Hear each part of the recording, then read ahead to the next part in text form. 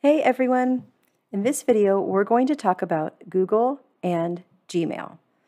Now, Google's browser is called Google Chrome, which I can open right here by double-clicking the Google icon.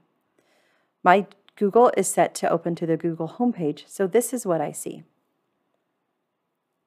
The first thing you need to do is create an account if you haven't done that before.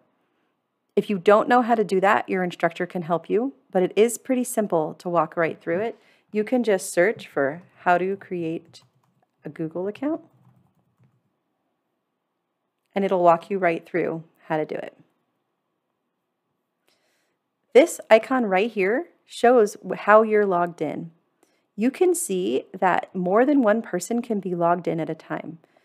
There's me, there's a guest, and I could add another person. When you're using a public computer, it's really important that you sign out right here when you're done using the Google browser. If you don't, then the next person who opens that Google browser will be signed in as you and they can access your email and everything that you've done on Google. So it's really important on a public computer like the College and Career Readiness Center computers that you sign out when you're done. But right now you can see that I'm signed in. These nine dots right here that says Google Apps is called the waffle. And yours might look a little different depending on what you've used, but all your Google apps will be right here. And if you don't have them all, you can add more.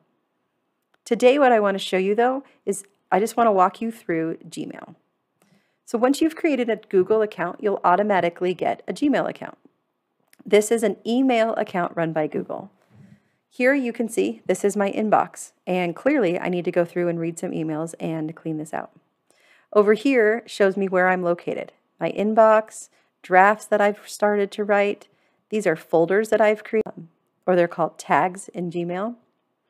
You can even start a Google-based meeting that's kind of like Zoom, but it's called a Meet right here from your Gmail. So there's a lot you can do. To start a new email, you click Compose, type in the email address of the person that you want to send an email to, just making this one up, obviously.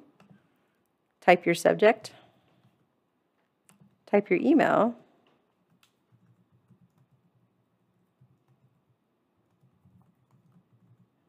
and then you'll click send. Down here, you can format just like you would do on a word processing. You can change the font, you can change the size, you can bold, and you can even change the color. I changed the highlighting instead of the color, the background, but that's okay. We'll change that back. You can make it into a bullet list. You can align things just like you would do in an email or in a word processing. You can attach a file. Click that pick the folder where your file is saved. Here's something I did for career explorations. Click open and it's attached. You can turn something into a link if you want them to click on it.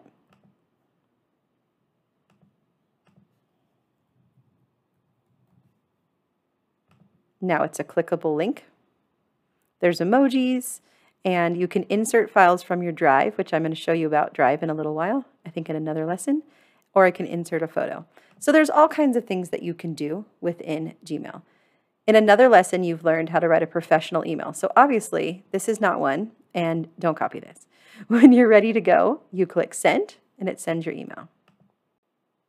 It's important that you check your Gmail account on a regular basis because your instructor is likely to email you when there's been a change or they need to send you something, especially if you're not able to come in on a regular basis. That's it for this lesson. We'll see you in the next one.